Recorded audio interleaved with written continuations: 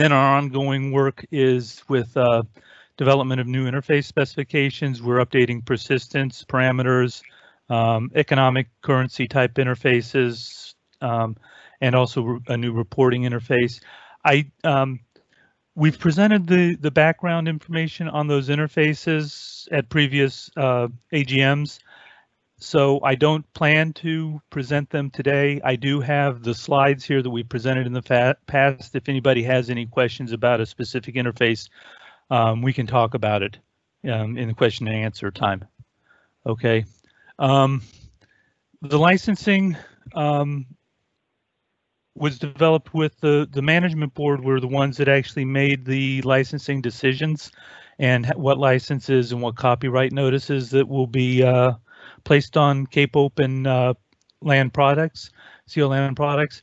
Um, so I'll leave it to them to to actually present the, the license itself.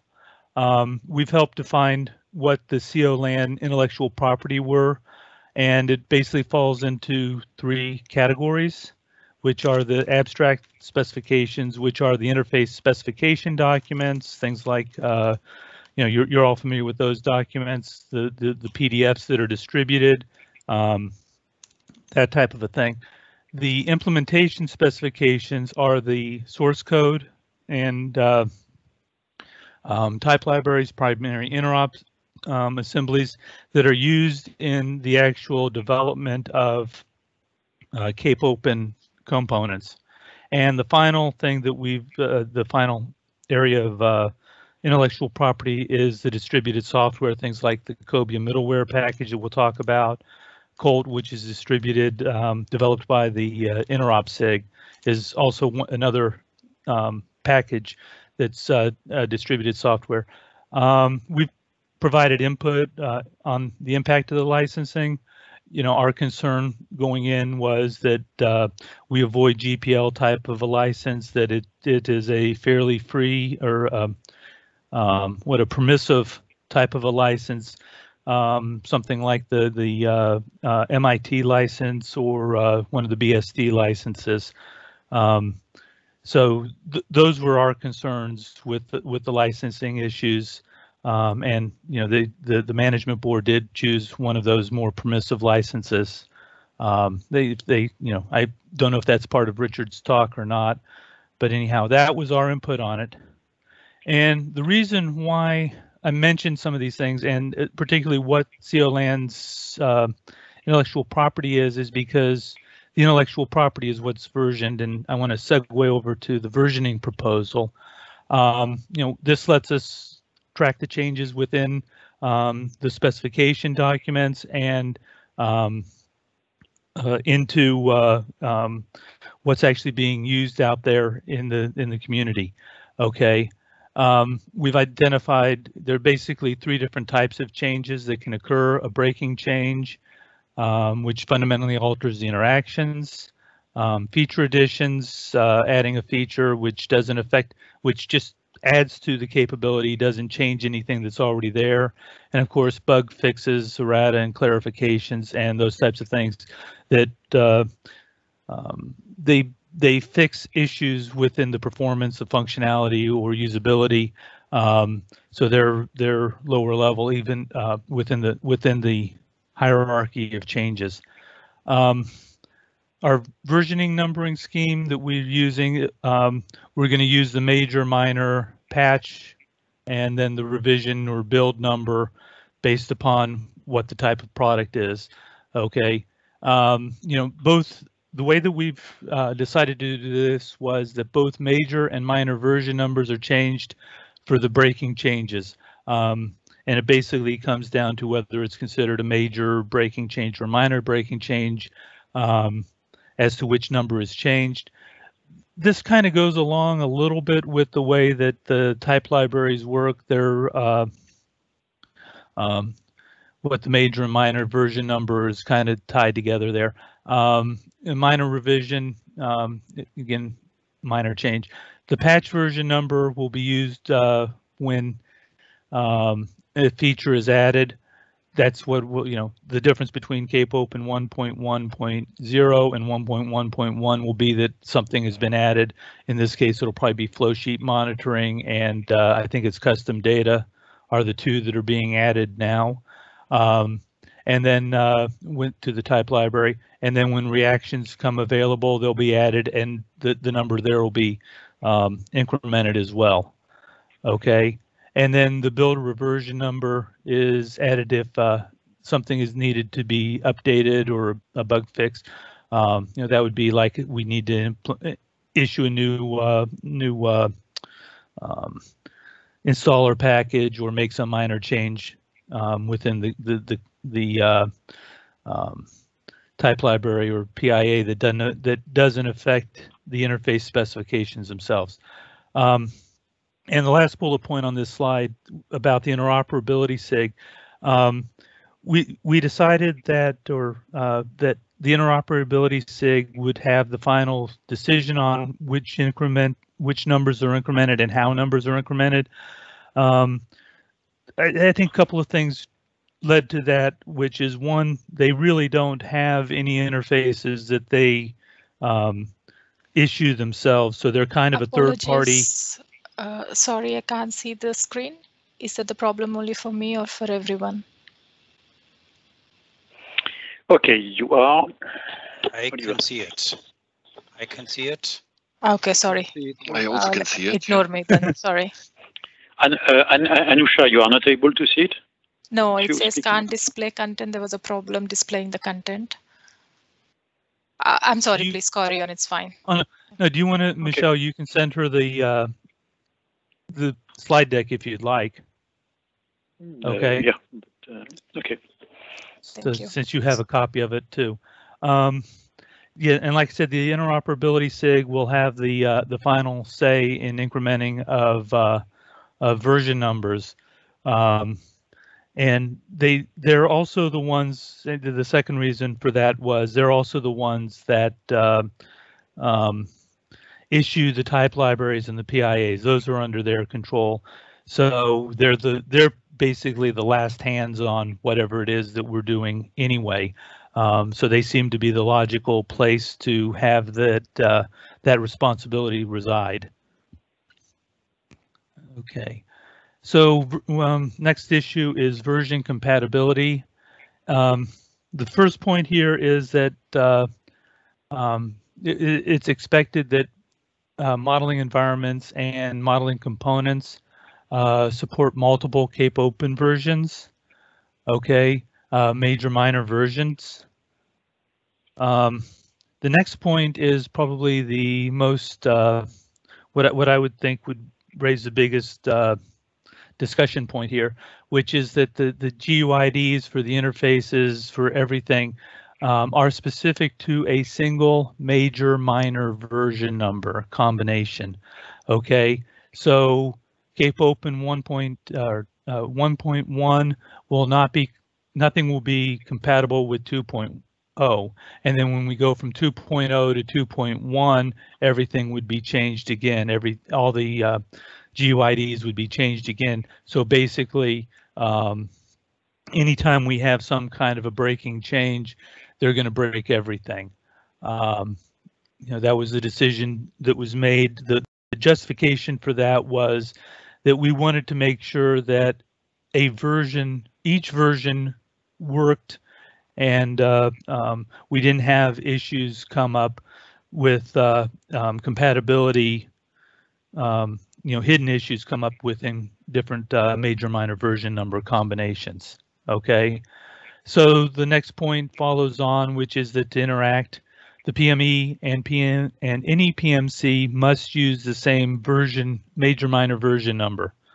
Um, one point here is that if you have multiple PMCs in a PME, they don't all have to be talking Cape Open 1.0, 1.1, 1.2, um, but each of them has to pick one to use. So one PME to one PMC can be 1.0 to 1.0. Another one can be 1.1 to 1.1. Okay, and across the board.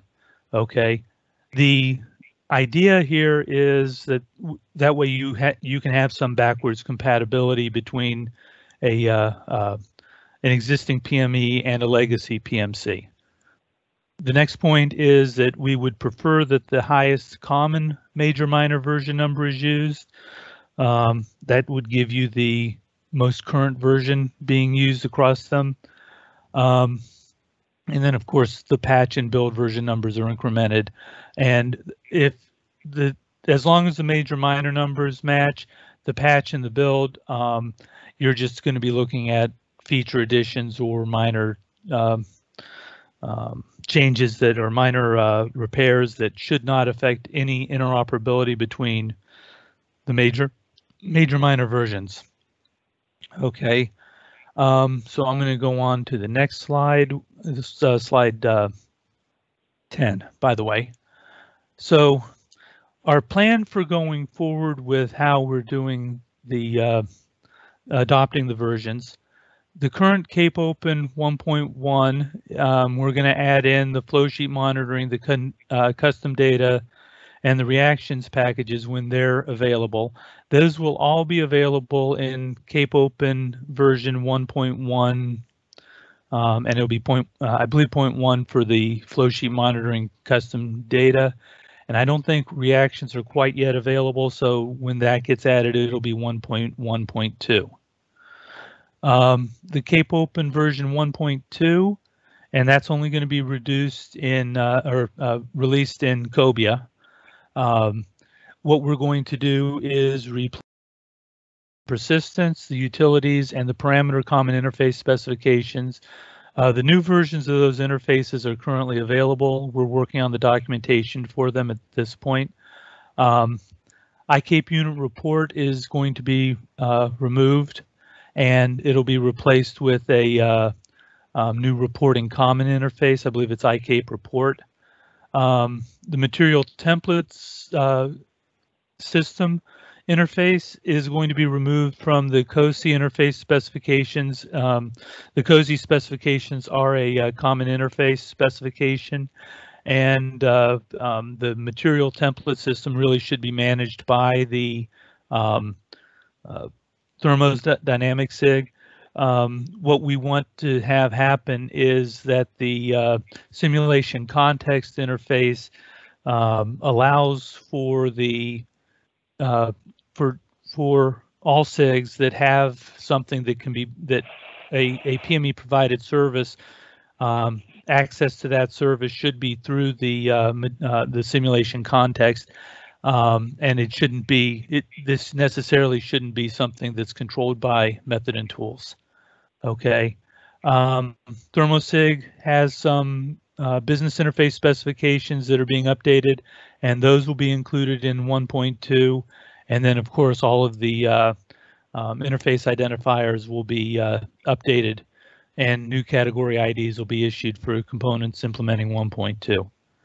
Then once Cobia is final released, um, we'll be we'll be moving to version 2.0 of Cape Open. It'll incorporate the interface changes that are in Cape Open 1.2. Um, so what we would like is for the other SIGs to review and modify their business interface specification documents so that we can have uh, um, updated any updated versions that they want to have incorporated in 2.0. Um, I know Thermo is doing some work. I think Unit is doing some work, so we'd like to get all that together and ball that up into 2.0. Then again, of course, we will update the the uh, IIDs, the GUIDs, and CATIDs um, for everything that's implementing 2.0. And the last point is that uh, we don't foresee releasing a uh, primary interop assembly for um, Cape Open 2.0. Um, the uh, 3.5 version of .NET is going to be uh, end of life in the next year and a half, I believe it is. Um, and at that point, um, there's no longer need for the, the support for the 2.0, 3. Point, uh, or 2. Point and 3. Point, uh, .NET versions. And then once you move to the 4.0 .NET, you have the COM type equivalents, and we believe that that should uh, be good enough to allow you to uh, um, interop and eliminate the need for the uh, the primary interop assembly.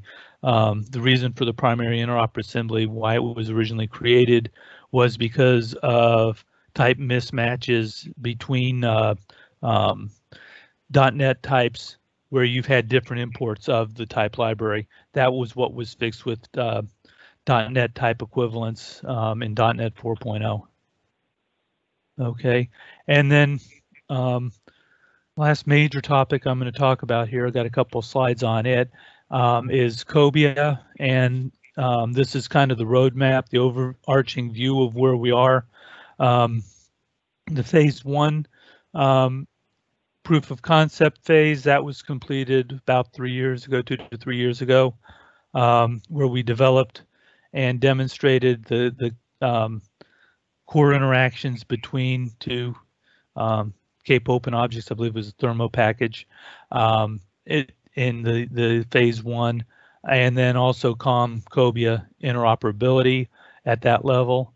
Phase two was to develop the full Windows native uh, um, package, and that's been uh, completed.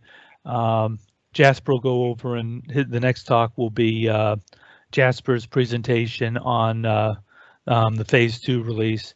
Um, and then we do have a couple of talks after that of it being implemented within um, different uh, modeling components and that type of thing. So that's what most of today is, I believe, is is uh, what Cobia is and applications of it in other uh, other aspects.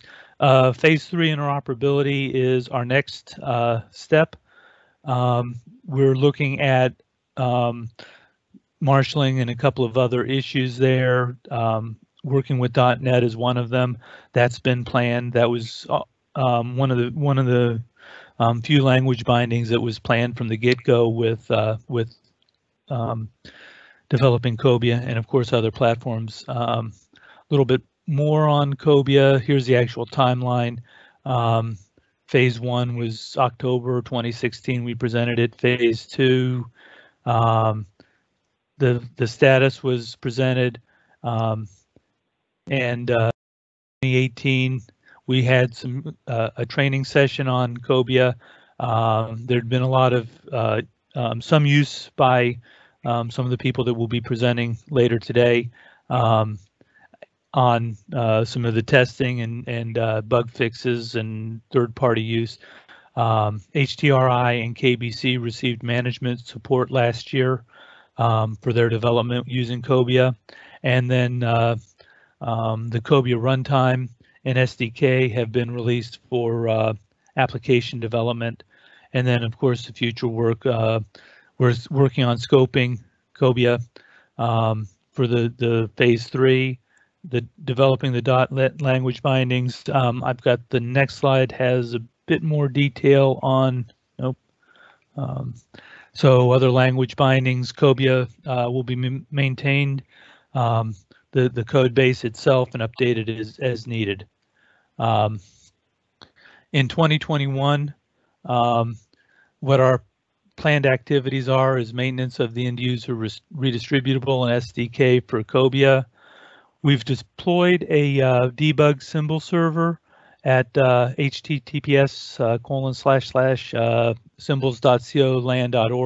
So if you are developing with Cobia, if you reference that symbol server, um, and uh, you'll be able to um, get the debug symbols for uh, for Cobia.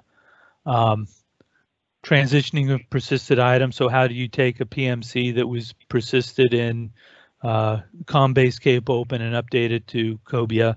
Um, that's a one-way upgrade or update uh, um, that transition process. We we don't envision um, Cobia objects being depersisted back to COM. Okay, so it's only uh, taking COM objects and moving it forward to Cobia. Um, and then the last thing is the scoping of phase three, and there are really three issues within phase three. Um, developing the thread model, um, marshaling, which would allow um, what cross-process uh, um, applications, uh, multi-threaded, out of process, uh, um, remote applications, that type of thing would be covered under marshaling. And then the last uh, or issue under the scoping of phase three is which language bindings um, we would be interested in uh, in developing. Candidate land uh, language bindings are the .NET, Python, Java, and Fortran. Um, .NET, it's uh, you know that's kind of Microsoft's future there. So uh, we uh, we've always had that on the list. Um, Python is there because Python tends to be one of the first languages that uh, um, uh, engineering students, uh, undergrads tend to use. It's gaining a large popularity within the scientific community. a lot of data tools are developed using uh, um, Python, machine learning applications, those types of things. Um, and it's a it's a fairly simple and robust language that has a wide range of applications. So we we kind of feel Python. Um, if you were to ask me, this this would kind of be my hierarchy. Maybe swap Java and Fortran. Um, Java, um, we know that it's used out there for scientific computing. Um, a lot of uh, um, packages are available within the Java net, uh, you know, uh, within Java to do a variety of different things related to uh, engineering type applications, chemistry type applications. Um, and then of course, Fortran provides a lot of legacy applications have been built in Fortran. So, um, you know, to, to make those code available um, going forward would be uh, would be useful. So those were the, the language bindings that we're considering at this point. Um, you know, if there's others that you're interested in, you think are useful, um, you know, let Michelle or I know, and uh, we can see about working them into proposals for uh, for phase three. Um, other work that we have going forward are developing the interface specifications and hopefully getting the RFCs done for those so that we can get feedback and get them approved as final. Um, also, we're working with, we'll continue working with the interoperability SIG, testing and evaluation of COBIA is one of the aspects, certification tools, what do they need to help do the certification process, and then uh, um, support for installation packages and issues associated with them. Okay, and that's my last slide.